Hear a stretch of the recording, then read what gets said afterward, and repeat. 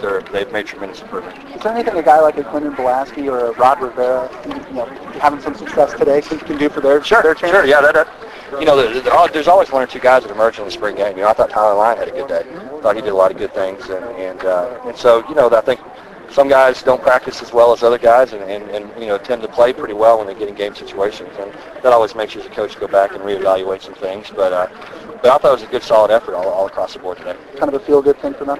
Yeah, definitely, definitely. I mean, those guys they work hard, you know, day in and day out, and and uh, you know it's it's nice to see them have success when they get their opportunity. A couple guys surprised you. I mean, obviously you're trying a whole bunch of starters, but a couple guys maybe that were off the radar that caught the attention. Yeah, you know, uh, yeah, I thought uh, Delashaun Dean had a really good spring. You know, he's a guy that was uh, a little bit inconsistent last year, and, and we, you know, made a position change, moved him from H to Z, which is a more natural position for him. Uh, and I thought he was really improved. Uh, you know, I thought our young offensive line as, as a group, I thought really improved uh, probably as much as anybody else. Um, you know, those guys are just getting more confident and, and learning the scheme better, and uh, and I thought those guys really did a good job of, of uh, you know, starting to gel. So, uh, you know, to me, um, those are two two groups that stand out.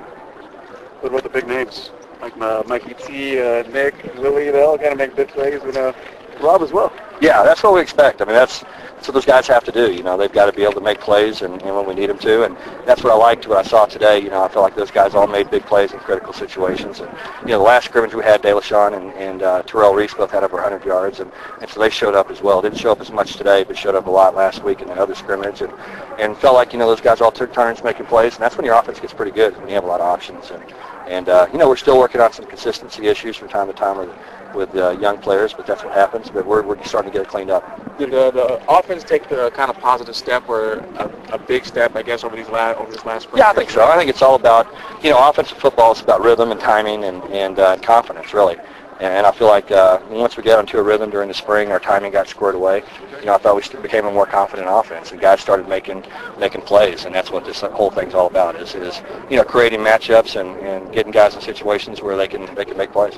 What are a couple of the most important things that have to happen between now and opening day? just uh, you know we, we've got to get a lot of the details ironed out, which we're, we've we've come a long way. Uh, there's still some little things you know that we've got to timing between the quarterback and, and receivers on certain things. We've uh, you know we've got to just work on some routine things like uh, you know our, our snaps with our, our second and third center have got to improve.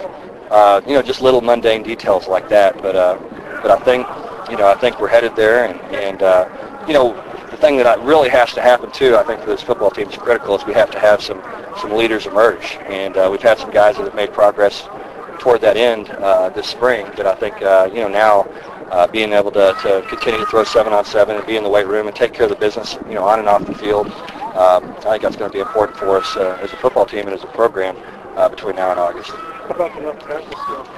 Yeah, you know we've got we're going to have three three options uh, that are going to be three new additions in the spring and in the fall rather. Um, you know, getting a couple of guys healthy and then uh, a junior college player that's coming in. Uh, you know, I thought uh, I thought Trethway really had a pretty good spring. I think we were happy with what what he's done and. And uh, all that competition does is just make your football team better. So it's going to be a, a lot of competition for that tackle spot, and, and uh, that's going to enable us to move some guys around possibly and create more competition at the guard and center spot as well. And uh, that's what we're trying to do at receiver and running back and, and uh, quarterback for that matter, and just create competition and, and uh, you know have your players push each other and everybody improves when that happens. Overall, how would you assess the team's comfort level with the offense? Oh, I think good. You know, I think that's the, the, the thing that we've probably done as much as anything else is just is just become more comfortable, and I think they see, you know, how it works. You know, and, and uh, I think sometimes they expect uh, kind of magic plays almost, and, and they got to realize it's not really magic plays. It's just it's just guys making routine plays.